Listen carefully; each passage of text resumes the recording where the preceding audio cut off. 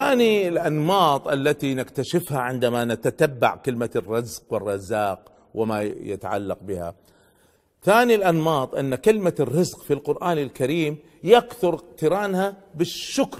في أكثر من موضع نجد وجوب الشكر لله تعالى. يقول الله عز وجل يا أيها الذين آمنوا كلوا من طيبات ما رزقناكم واشكروا لله إن كنتم إياه تعبدون.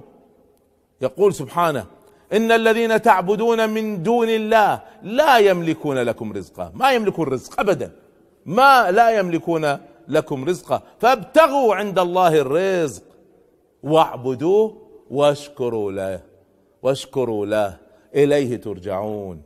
اذا الشكر الشكر للأسف عبادة مهجورة. قال رجل عند عمر رضي الله عنه عمر سيدنا عمر رضي الله عنه يسمع رجل من الناس يدعو. فيقول اللهم اجعلني من القليل. إيش الدعاء الغريب؟ اللهم اجعلني من القليل؟ فقال له عمر ما هذا الذي تدعو به؟ إيش الدعاء الغريب هذا؟ فقال هذا الرجل إني سمعت الله تعالى يقول وقليل من عبادي الشكور. الله الله. قليل من عبادي. الشكور اللهم اجعلني من هذا القليل الذي الذي يعرف معنى الشكر ويمارس الشكر على كل رزق. اشكروا الله على كل شيء. تخيلوا الآن لو عد أحببتم أن تعدوا نعمة الله عليكم في أنفسكم في علاقاتكم فيما حولكم.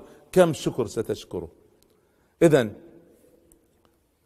ادعو الله أن يجعلك من أولئك القليل. كثير من الناس غير راضين عن حالهم. ولا راضين عن رزق الله تعالى لهم. ويسخطون ويتذمرون دوما.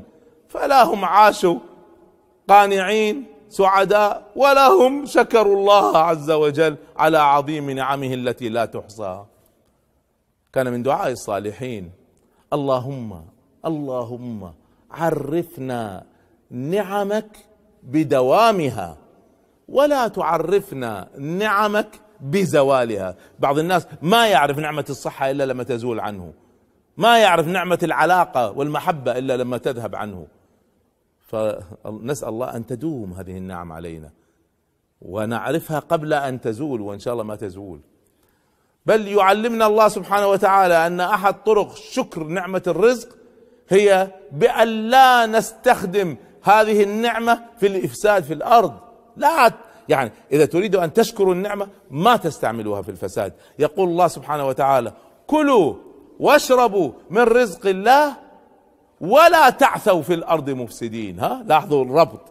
لا تستعمل النعم في الفساد في الأرض. تستعمل الأكل والشرب لتفسد الأرض سواء تفسد الأرض بنشر الطعام الفاسد أو بنشر الرشوة أو باستعمالها لجسدك حتى تتقوى على الفساد. في الحالتين لا تنشر الفساد بنعم الله. اذا ثاني درس نتعلمه هو أنه عندما نعطى نشكر. هذا معنى أصيل تأملوا فيه